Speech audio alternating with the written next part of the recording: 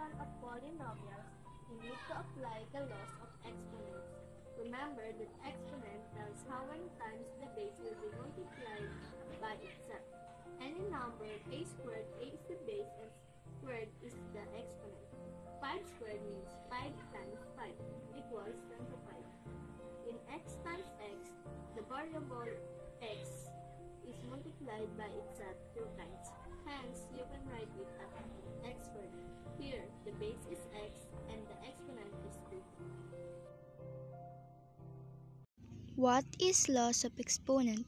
One of a set of rules in algebra. Exponents of numbers are added when the numbers are multiplied, subtracted when the numbers are divided, and multiplied when raised by still another exponent. What is an example of the exponent? An exponent refers the number of times a number is multiplied by itself.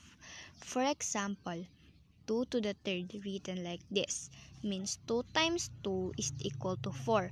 4 times 2 is equal to 8. 2 to the third is not the same as 2 times 3 is equal to 6.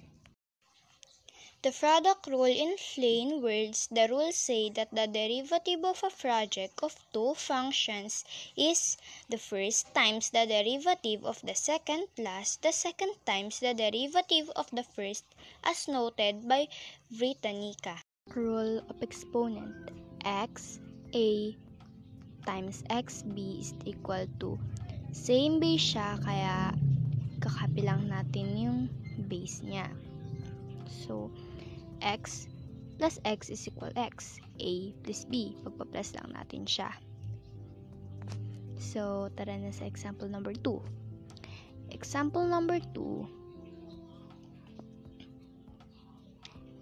x 5 times x 8 is equal same base so copy the base 5 plus 8 copy the base again 5 plus 8 is equal 13 example number 3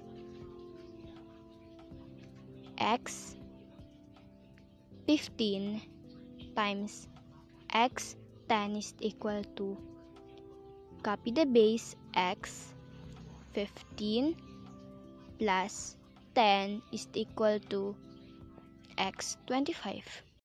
In calculus, the quotient rule is a method of finding derivative of a function that is the ratio of two differentiable functions. Quotient rule, kagaya ng product rule, parang magkaparehas lang din sila. Pero dito, isusubtract natin sila.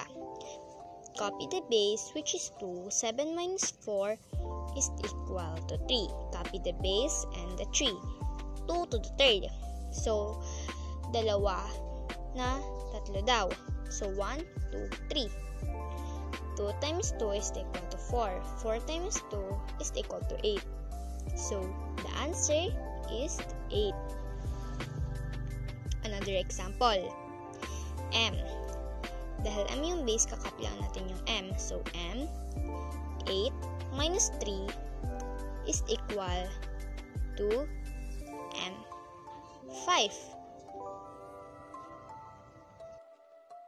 The power of a power rule says if a power is being raised to another power, multiply the exponents and leave the base the same.